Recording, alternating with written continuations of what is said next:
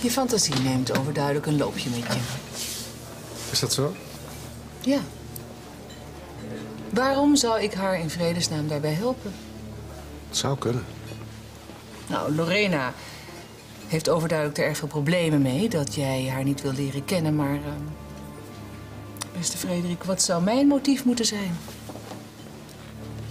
Vrouwen hebben wel vaker eh, de neiging om problemen te zoeken die er niet zijn. Wat ben jij toch een afschuwelijke macho eigenlijk?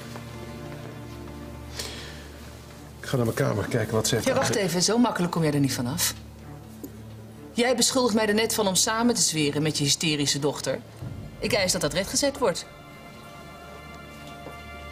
Het spijt me. Ik zat fout. Want? Jij hebt geen enkele reden om dat te doen. Precies.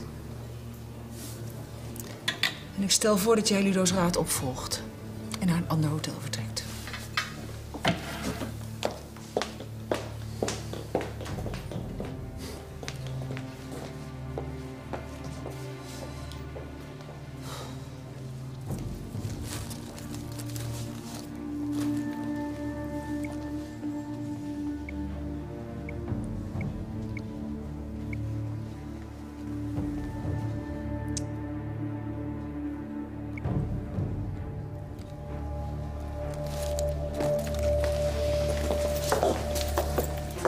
Ga zitten.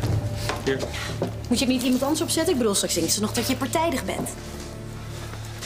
Ga zitten.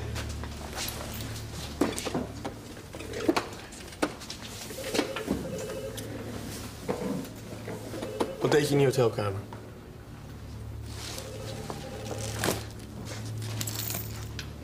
Het recht om te zwijgen, toch? Hoe kwam je in die kamersleutel? Waarom vraag je niet of ik een advocaat wil? Omdat ik oprecht hoop. Ik wil een advocaat.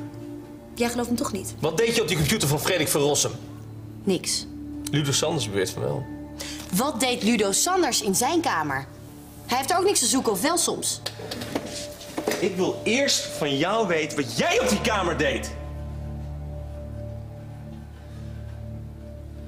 Je maakt het moeilijk voor jezelf. En je maakt het moeilijk voor mij. Want je had beloofd dat je Frederik met rust zou laten.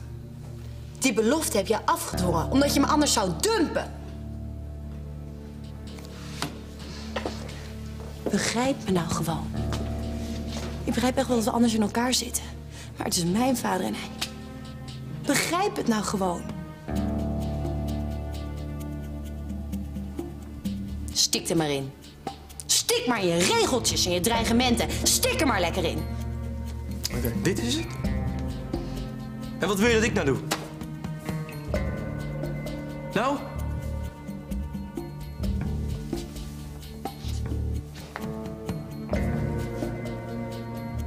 Je hebt het recht om te zwijgen. Je hebt het recht op een advocaat. Theo. Breng mevrouw González en zelf hier.